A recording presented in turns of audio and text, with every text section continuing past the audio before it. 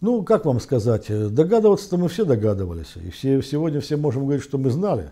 Но, в принципе, я знал, что это года-то вот-вот-вот-вот вот должно быть. Но что это будет именно, это я не знал.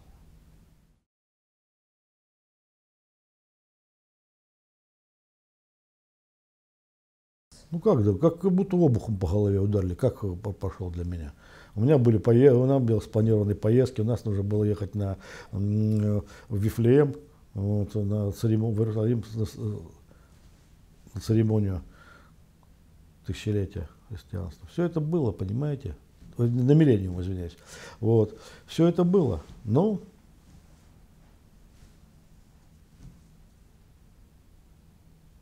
Он единственное, что у меня первое, что было, он как-то накануне Нового года, он говорит, ну если так что-то будет, ты со мной-то останешься. Я говорю, Борис Николаевич, а куда я денусь? Это уже был сигнальчик такой, что это вот-вот должно быть. Поэтому, когда он это озвучил, он потом пишет в книге, что Шевченко, это, как это, крыша у него поехала. Ну, действительно, немножко поехал. Но ничего, потом стал на место. Сразу было сделана передача, такая спонтанная, мы особенно ничего не придумали, она, может быть, и не нужна была. Вот, подъехал патриарх, благословил, все. После этого был а, небольшой, значит, патриарх уехал, был ужин с, ну, обед переходящий ужин, будем так говорить, с силовиками, он расстался и уехал. И больше он, ну, приезжали мы, естественно, в Кремль, но в кабинете он уже больше никогда не был.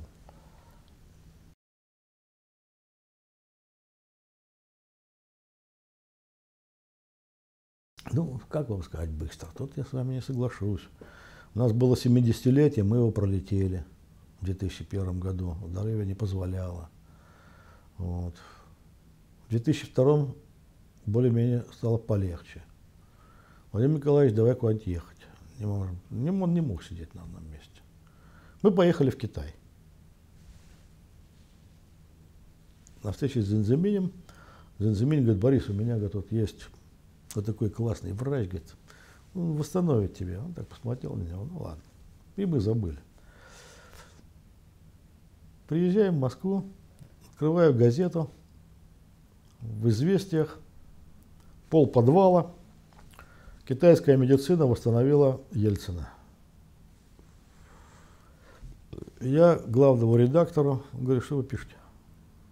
Вы о чем пишете? Говорю, как вам не стыдно? Говорю, вы что? Вы... Ну, я понимаю, что вы не патриоты, вам плевать на нашу медицину, но все заслуга в том, что сегодня есть здоровье Бориса Николаевича, в первую очередь нашей медицины, российской. Это первое. А второе, если вы такие вещи поняете, рынок, тогда да, да, получаете деньги, давайте делиться. Хотя бы, значит, с кем, кому это положено. Он испугался. Он говорит, это вот наш автор, там, ну, он корреспондент, давно там работает, мы ему доверяем. Я говорю, знаешь, что доверяй, но проверяй. И э, делал, сделал опровержение по всем этим каналам. Что было? Действительно, через пару-тройку дней в резиденции, где мы на Желтом море остановились, приезжает два врача. Ну, лет так под 70, под 80. Вот.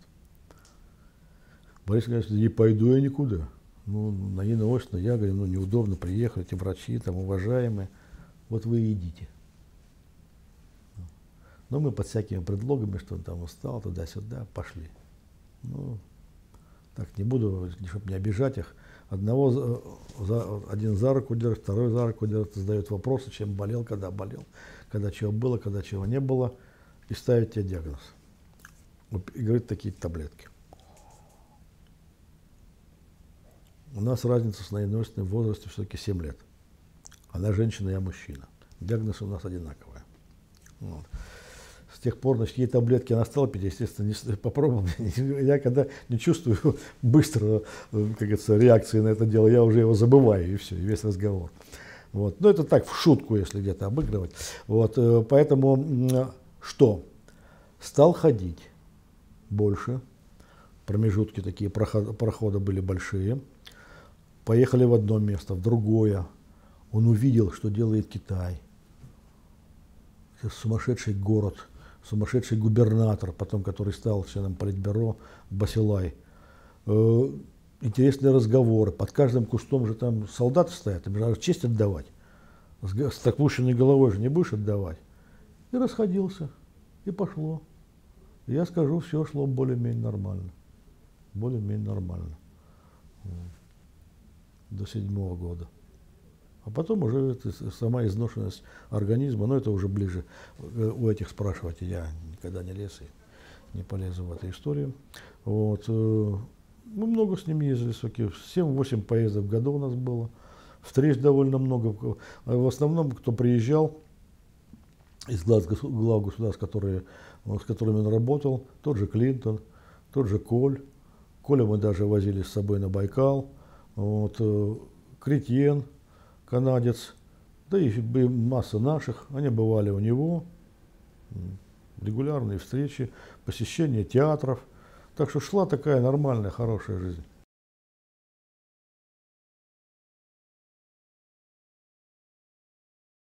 Ну, во-первых, э, он за это время, он ящиками читал книги. Ребят дорогие, это, это что-то. Он читал, я кажется, все перечитал, что можно было. Татьяна Борисовна, бедная, э, не успевала ездить в, в магазин и покупать какие-то новинки. Он смотрел массу фильмов. Хоть он особенно, как говорится, не просиживал у телевизора, но какие-то вещи через канал «Культура» он узнавал. Вот. Шли, во-первых, ну, шли приглашения из таких театров, как э, те, которые, которые он уважал и которые его любили, тот же Табаков, э, та же Волчек, Галина, Большой театр. Они приглас... приносили репертуар.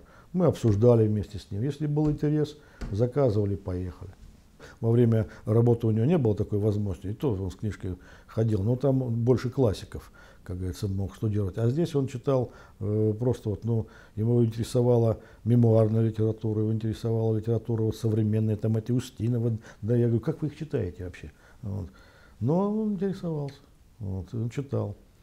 И много, очень много, много читал. Вообще он, мало кто об этом знает, он обладал уникальной памятью, уникальной. Я не знаю, говорил вам Пихой об этом или нет.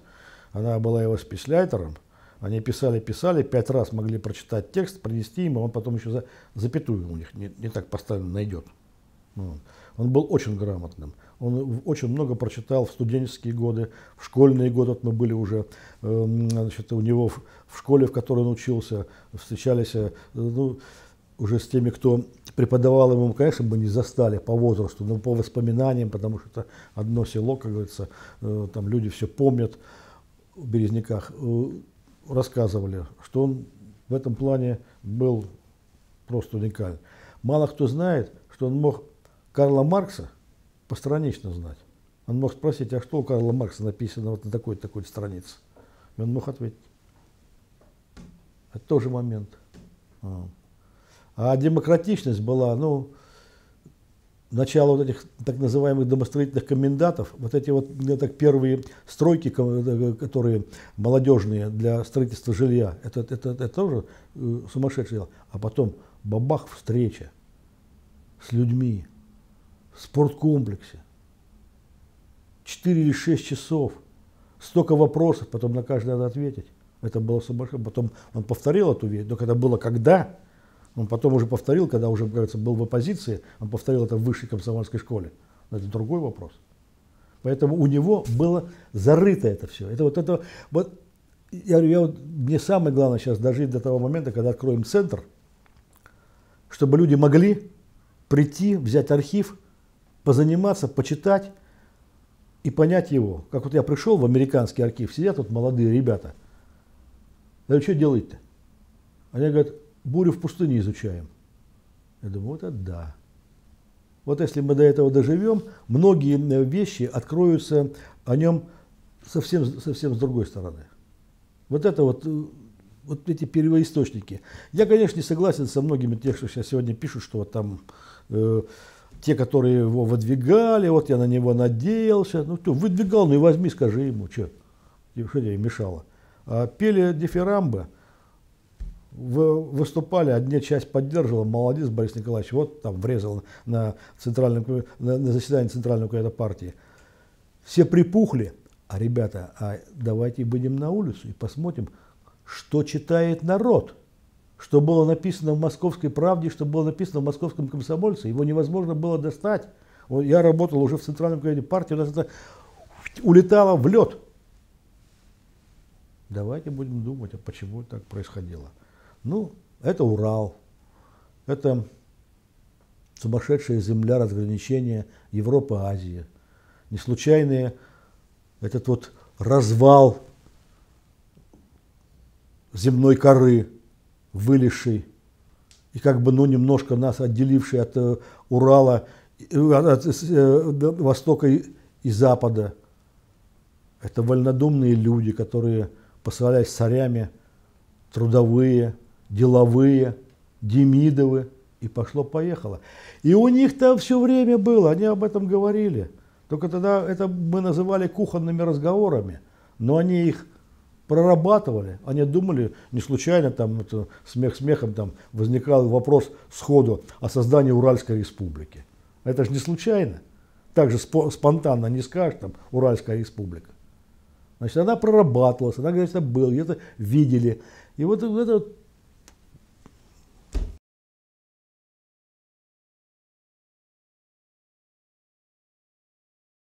Не-не-не, ради бога, мы не ходили туда.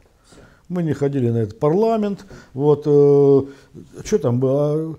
Парламент все время бузил, там был представители. Ему Борис Николаевичу докладывали. Вот. Идти туда, выслушивать, это было себе дороже, потому что все равно он понимал, что ничего толком не добьешься. Его действительно, он успокоился и принял решение о своей отставке только тогда, когда был избран парламент, который ну хотя бы что-то может говорить э, в пользу э, своей, а не все время быть в драке. Если бы э, выборы опять пошли в раскосок и опять бы был бы раздрай в парламенте, такой, что ни одного, ведь вы поймите, он вынужден был принимать указы, а указ это не закон. А они законы блокировали. А что такое? Закон не имеет обратной силы. А указ его сегодня подписал, завтра порвал. Другой издал. Вот так он работал все эти годы. И когда он увидел, что все-таки в парламент прошла вот та часть, которая реально за Россию, которая может, как говорится, принимать ответственные, ответственное решение, он говорит, ну что, теперь можно и уходить. Пусть работают сами.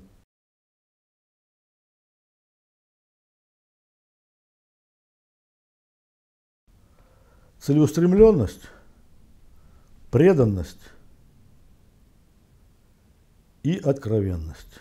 Вот, пожалуй, вот это вот самое-самое то, что вот я всегда поражался. Решил, доверил, сделал. Я на себе это испытал. Подвел, и все. И я считаю это правильно. Если сам не догадался, то тебе должен кто-то помочь уйти.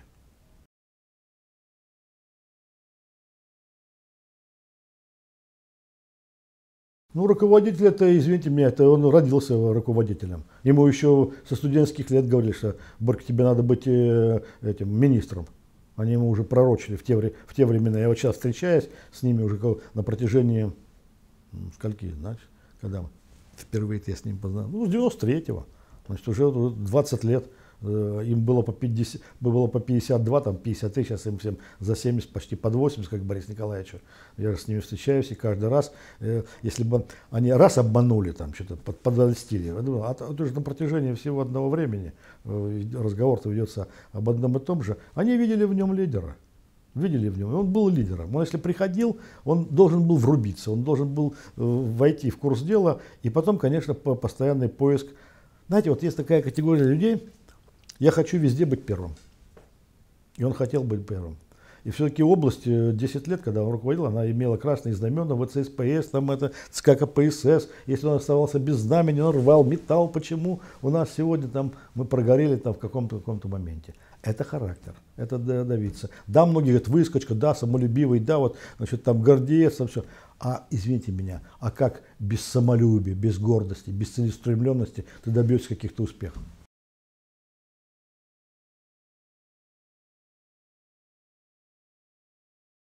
До него эта работа с документами, она не доходила. Это смеялись и вы, потому что действительно вы просто не понимали.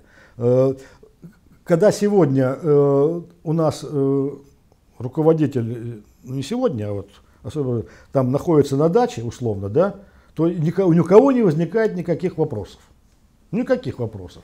А здесь э, не вышел там что или что-то припоздал, то ты уже все. Работа с документами, да, Сережа молодец, ну, для Хохмы была, не, не Хохмы, а просто вот был найден такой подход. Что делать? Да, ему приводилась пачка документов. Он работал, он не приезжал в Кремль. Он работал у себя.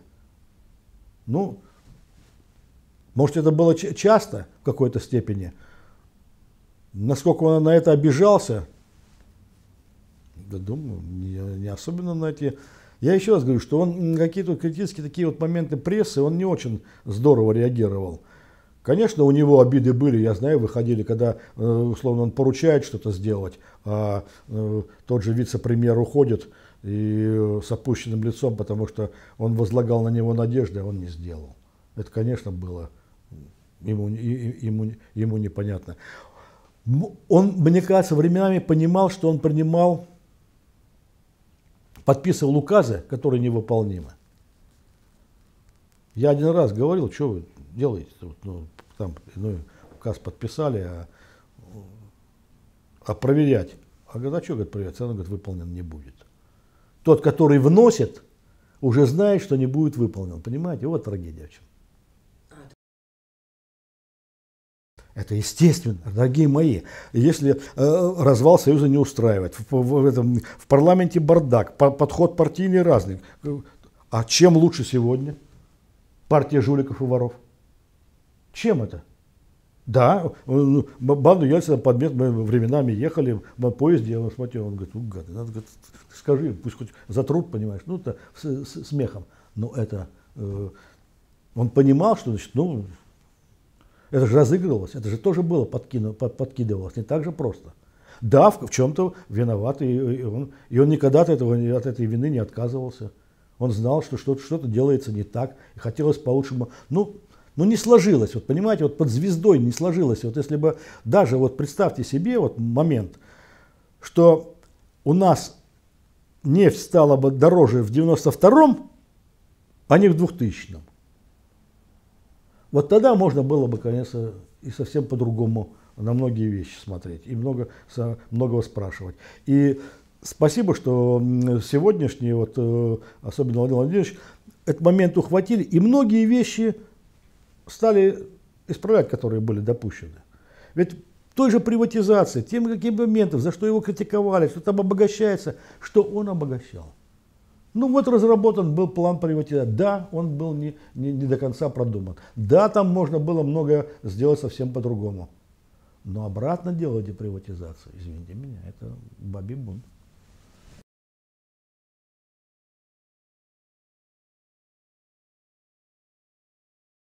Ну, условно, там, я не, сейчас не буду вдаваться в подробности, потому что там связано там, с временем. Он приводит, вот надо вот там построить вот до этого, вот до этого срока, особенно в сроках. Вот там 20 там, там, или 30 дней, там, дом сдать или еще там какие-то там, там казармы, я не знаю. Подписали, а это нереально. Это уже было явно под давлением. Подпишите, вот на публику, вот подписали указ, там, ну там указы там на танках подписывали, помните, был. Вот такие тоже были. Это он виноват, это не он виноват. Это виноват тот, кто тащи, тащит этот указ и заставляет его на танки подписывать. Вот это вот, э, вот эти моменты они, конечно, очень. Вот к этому надо быть внимательны. И молодец, там Владимир Владимирович в последние годы этих вещей, как говорится, не делает. Или вот э, есть выражение у некоторых товарищей, я подписываю, берут у него, я подписал указ. Ну, подписал и опубликуете в прессе. А что, зачем нам об этом знать, что ты подписал? Как том можно подумать, когда говорят, я подписал указ. Я тоже с Борисом Николаевичем на эту тему спорил. А кто может, кроме вас, подписать-то? Я подписал. Маша пришла, подписала.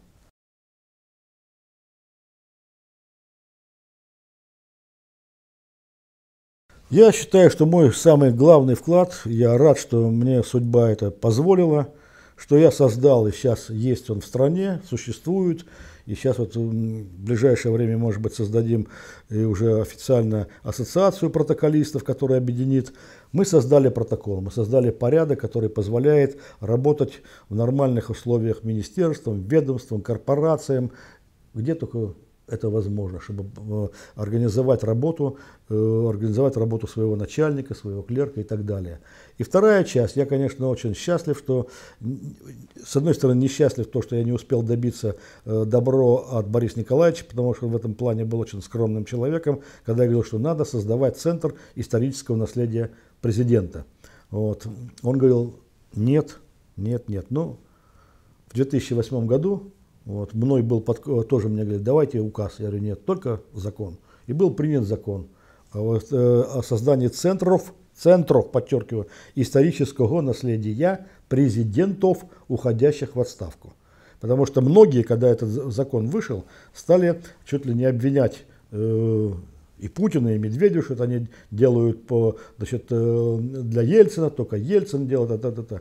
Нет, ребята, это сделано для всех. Если мы пойдем по этому пути, у американцев их сегодня 12 таких центров. И какой бы президент ни был, он президент. Он президент. Его избрал народ. И уважайте. Вот Никсон. Пожалуйста, Утергейт. Утащить все. Но спасибо Никсону. Он положил начало строительства вот этих центров. А давайте-ка мы, сказали американцы, Будем строить центр, показывать жизнь президента, и архив будет находиться там. А люди пускай приходят, изучают. Не обольщайтесь, что американцы открыли архивы. Они открывают архивы хуже нас. Они только больше об этом говорят. Они открывают тоже дозированно. И допускают работу центров тоже дозированно. Но они созданы, они работают. И приходишь, и ты можешь увидеть, вот был такой президент, да, был Утергейт. Ну да, ну был Борис Николаевич, ну да, ну был, дело связано значит, э, с алкоголем, ну было. Ну да, ну дирижировали под эмоциями оркестром, ну дальше что, ну не вышли в Шиноне. А если бы этого не было, вообще чем бы критиковали-то его? Я временами задаю вопрос.